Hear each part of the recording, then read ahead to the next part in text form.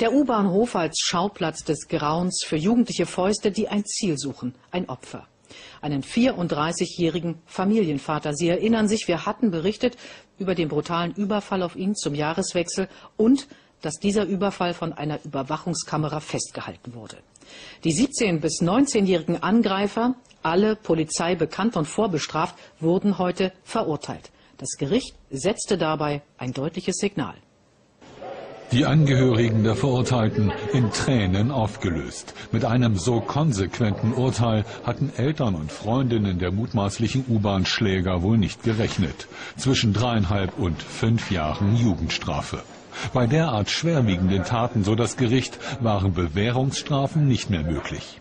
Der öffentliche Nahverkehr sei kein wörtlich Ersatzkriegsschauplatz, in dem wild gewordene junge Männer ihre überschüssigen Aggressionen austoben dürften.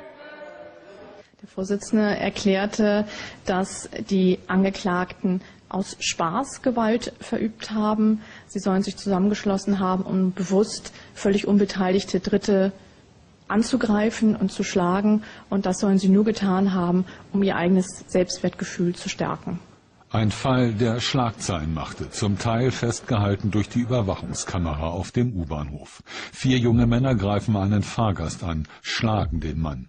Dann klatschen sie ab wie Sportler nach einem Sieg. Als der Mann flüchtet, setzen sie ihm nach. Was die Kamera nicht zeigt, der Terror geht weiter. Sie stoßen ihn eine Treppe herunter, schlagen und treten zu viert auf den Mann ein. Ihm wird eine Wodkaflasche gegen den Kopf geschleudert.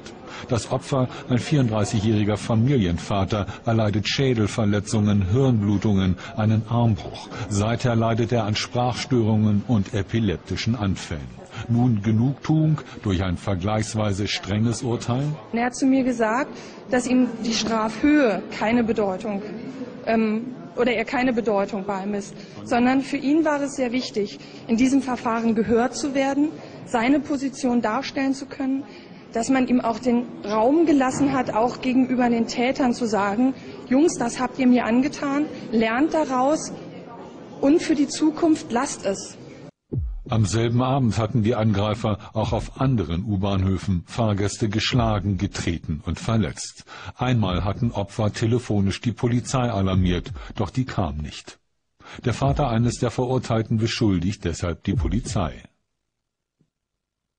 Polizei in Berlin trägt Schuld, weil nicht angekommen. Die Polizei konnte diese Tat verhindern. Aber Ihr Sohn ist zum Schläger geworden. Dann können Sie die Schuld doch nicht auf die Polizei schieben. Erstmal Polizei vor zwei Stunden konnte die erste Tat verhindern. Polizei ist schwach. Polizei ist schuld. Wie steht es um die Schuld Ihres Sohnes? Erstmal Polizei ist schuld. Für Erziehung sind nun andere zuständig in der Jugendstrafanstalt. Und wie gesagt, die heute verurteilten Jugendliche hatten schon eine lange Vorstrafenliste.